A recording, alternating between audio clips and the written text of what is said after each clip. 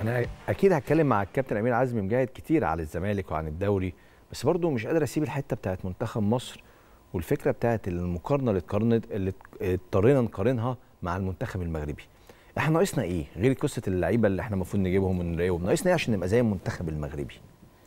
اولا ناقصنا اللي أنت آه، تعمل كوادر تدريبية في مصر من من مدربين مصريين اللي تقدر تاخد فرصة والناس تصبر عليها زي وليد الركراكي. ودي أصلا ودي أصلا مش موجودة بسبب عدم وجود دورات تدريبية لمدة أو الدراسات لمدة خمس ست سنين. دي أول نقطة. تاني نقطة ممكن أقول لك حاجة بس على وليد. الركراكي وبس افتكر تاني نقطة عشان اتفضل. ما كنتش عايز اقطعك بس عشان ألحق وليد الركراكي. تعرف وليد الركراكي ده راجل اتولد في فرنسا ولعب في إسبانيا. لعب في أندية فرنسية وإسبانية. اتعلم تدريب في أوروبا وبعد كده هو راجل مغربي. تمام. فجه يدرب في المغرب. بالظبط. فاحنا المفروض هنا يعني إيه إحنا إحنا بنبدأ من الصفر. هو راجل عايش في أوروبا أصلا زيه زي اللاعب تمام. إحنا هنا محتاجين يعني نتعب قوي عشان المدربين بتوعنا دول يشتغلوا زي ما ما هو انت تتعب ليه يا كريم انت النهارده مع احترامي يعني. مم. انت في الدوري الممتاز ولسه آخر حتى التغييرات اللي حصلت دي. أنا من ساعة ما لعبت كورة بقى لي مثلا لعبت كورة 15 سنة أو أو 90% أو 80% نفس الأسماء اللي موجودة لحد دلوقتي بتدرب و... وممكن ما تنجحش تلف هنا وده بيجي مكان هنا. لعب أنا دي. بقى دي ما بتجننش. لعب الكراسي طب بص أنا هقول لك حد بدون ذكر أسماء. في مدرب لم يو... وهو مدرب كبير لم يوفق يوفق مرتين ورا بعض خلال شهور قليلة. لقيته في نادي ثالث طب يا جماعة طب سيبوه يريح حتى. يعني سيب- سيبوه يستعيد توازنه. يعني ما هو لو أنت مش قادر تقيم ما هو دي ما دي حاجات زي آه. ما بقول لك دي من ضمن الحاجات اللي أنت بتتكلم فيها. آه. اللي انت النهارده بتتكلم في مثلا رضا شحاتة اللي المدرب الوحيد اللي مسك الجونة واشتغل معاها كويس آه. وماسك في الداخلية دلوقتي وإدارة تقدر تجيب واحد في سن رضا 41 سنة وتدي له فرصة. لكن الإدارات بتخاف تجيب مدربين مع إن خلي بالك كريم والكلام ده مش بقوله عشان أنا مثلا يعني في نفس سن رضا أو في نفس بتاع. بس الإدارات بتخاف ما عندهاش الجرأة اللي تجيب مدربين شباب. يقول لك يا عم أنا إيه مش عايز وجع دماغ. أنا أجيب الاسم. أجيب الاسم عشان و- لو فشل الجماهير هتقول إيه؟ ده هو. أنا عملت إيه؟ أنا جبت لكم اجمد واحد. بالظبط. آه. والحاجة الثانية أنت ما بتجيب مدرب أجنبي اسم هديك مثال مثلا أنت فريرة في الزمالك شغال مع مين دلوقتي؟ أسامة نبيه. امم طبيعي الراجل ده ما بيشتغل مع واحد زي فريرة بيتعلم منه كتير. صح. لازم بقى يبدأ ياخد فرصته في الزمالك أو ياخد فرصته في أي حتة. ما أنت النهارده الراجل اتعلم وشرب من مدربين كتير واشتغل مع كوبر. أنا بديك مثال مثلا بأسامة نبيه. الطبيعي اللي ممكن يشتغل في الدوري ويبقى عملنا كادر. مم. لا. يقول حاجات غريبة جدا بتحصل. الحاجة التانية عشان بكلمك بامانه الله أنت من ما حدش يزعل كريم أنا ممكن صريح شوية. لا بالعكس. لكن أنا النهارده لما بتفرج على ماتشات الدوري مثلا مع احترامي في بعض الملاعب لا تصلح ويمكن مش ده كلامي. ده كلام مدربين في الأندية أجانب كلام من المدير الفني بتاع منتخب مصر. في ملاعب لا تصلح اللي هي تلعب عليها كورة.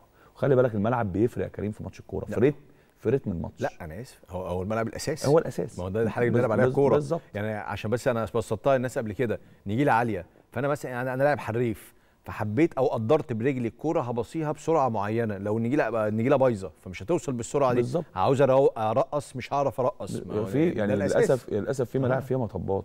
طبعا. أنت فاهم قصدي؟ وأنا مش بقول كده بنتقد. بس أنا نفسي اللي إحنا أصلا بلد كبيرة وعندنا بنية تحتية كويسة يعني أنا كريم أكلمك بصراحة أنا لما كنت شغال في الزمالك إحنا رحت مرتين رحت طنجة ورحت أغادير ومركب محمد الخامس آخر مرة. بصراحة ملاعب أنا نفسي وأنا مدرب نفسي أنزل ألعب. أنا بكلمك بأمانة ملاعب غير طبيعيه دي سبب ممكن ينجح منتخب المغرب أو ينجح الكرة المغربية. الملعب ده ينجح. أنت فاهم قصدي. الحاجة التانية ال- الحته برضو تحكيم آه، انتظام مسابقة ناشئين. ناشئين. آه، حاجات كتير جدا يا كريم ناقصانا. حاجات كتير ناقصانا وللأسف نقدر نعملها. لكن إحنا زي ما قلت لك إحنا ما بناخدش غير عارف انت يبقى انت عندك تورتة؟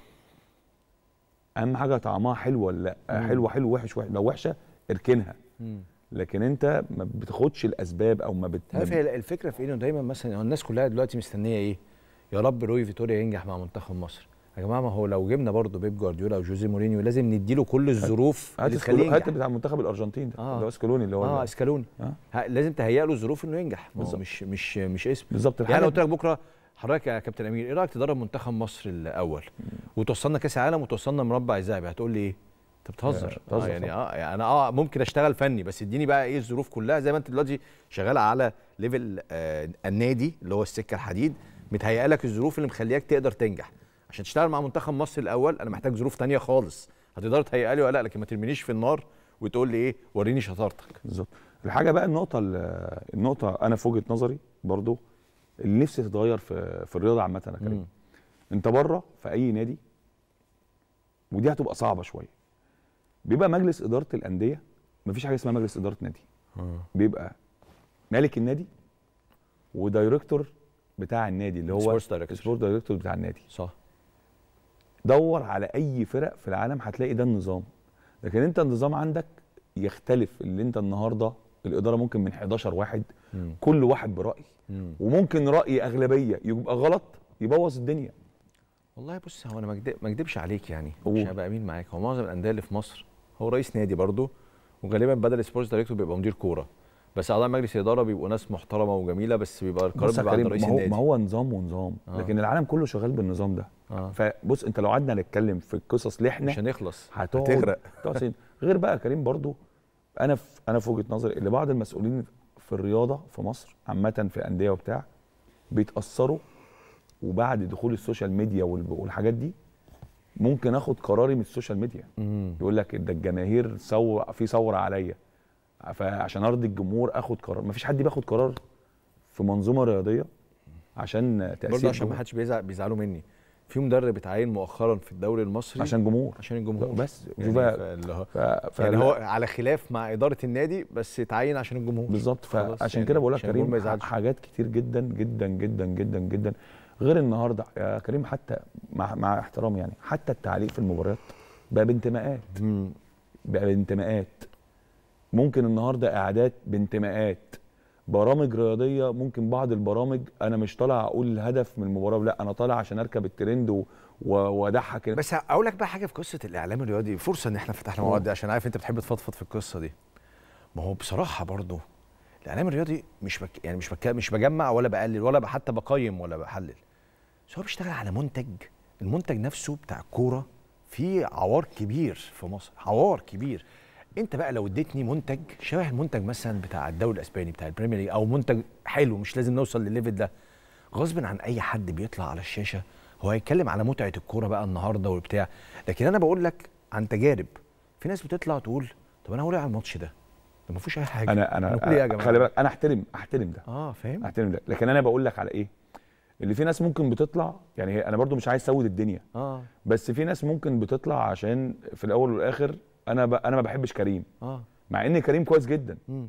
بس لأ آه والناس كلها قايلة كريم كويس. مم. بس أنا هطلع لأ هقول كريم وحش. أنت عارف الف... على فكرة مش هختلف معاك بس أنا أقصد إيه؟ هفضل برضه أقول إيه؟ إنه آخر جزء في الحكاية كلها زمان كانوا يقول لك إيه؟ الإعلام الرياضي هو اللي مش هو اللي مبوظ هو اللي مصلح هو اللي مش عارف إيه. يا عم لأ هو الإعلام الرياضي هو في الأول إنه كده. في استثناءات زي ما أنت بتتكلم طبعا, طبعاً. في بس الأول ادي منتج نظيف المنتج ده يجي منين بقى؟ من الناس اللي هم أصحاب الكورة. مين صحاب الكورة؟ اتحاد الكورة الأندية. مجالس الإدارات المدربين هنا بقى دول صحاب الكورة آه، انت تبقى في شغلانتك في اعلام الرياضي انت بس ناقل اللي بيحصل بالظبط هنا في خلل وفي عوار انت كبير عارف يا. كريم أنا هقول لك على حاجة. ب... بذكر التعليقات والحاجات آه. دي لحظة تعيين الكابتن إيهاب جلال خلي بالك أنا بقعد ما بنزلش كتير فبقعد مم. أتفرج وأشوف التعليقات و... أما تعين في اتحاد الكورة أما عملوا خبر تعيينه. القرار نزل وراحوا مقفلين التعليقات. آه على ال social media. على ال social media. يعني أنت منزل معايا مدرب ومش عارف تحميه أو مش مش واثق فيه أو أنا مش بدي أنا مش واثق في قرارك. شوف بقى أنت مثلا مثال مثال في دي. برافو عليك. دي آه. بداية فشل لأي مدرب. صح. بداية أما أنا النهارده مدرب أبقى حاسس إن أنا جاي أشتغل وأنا مش مرغوب فيا. لا أو المسؤولين عني مش واثقين مش فيا أصلا. واثقين فيا. آه. الناس بقى تبص لك أصل الكابتن ايهاب لاعب وعمل و system اللعب ودرب فين واشتغل. هي مش قصة ك- القصة كده. القصة النهارده قبل ما أشتغل آه. أنا خلاص جالي إحساس ان المسؤول ما عندوش ثقة فيا فبص يا كريم آه، موضوع عو...